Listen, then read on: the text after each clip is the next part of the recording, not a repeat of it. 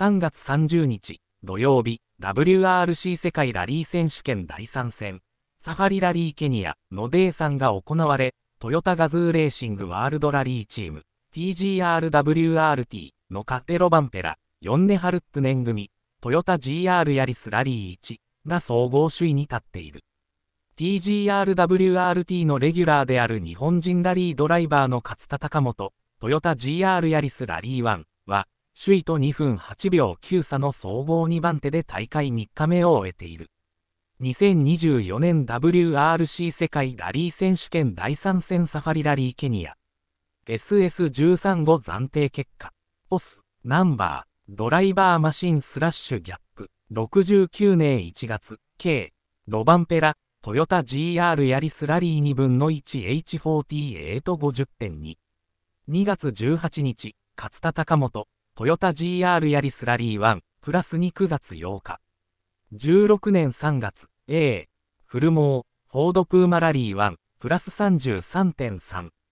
33年4月、E、エヴァンス、トヨタ GR ヤリスラリー1、プラス535.6。11年5月、T、ヌービル、ヒョンデ i20N ラリー1、プラス1148.6。22年6月 G、グリーンスミス、WRC2、シュコダファビア R ズラリー2、プラス1502.0。20年7月 O、ソルベルグ、WRC2、シュコダファビア R ズラリー2、プラス1657.0。23年8月、K、カエタノビッチ、WRC2、シュコダファビア R ズラリー2、プラス2115.7。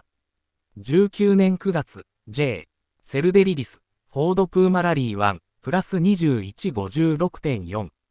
8月10日王、タナク、ヒョンデ i20N ラリー1、プラス2158.1。4月11日、E、ラッピ、ヒョンデ i20N ラリー1、プラス4221.7。3913G、ミュンスター、フォードプーマラリー1、プラス5082.4。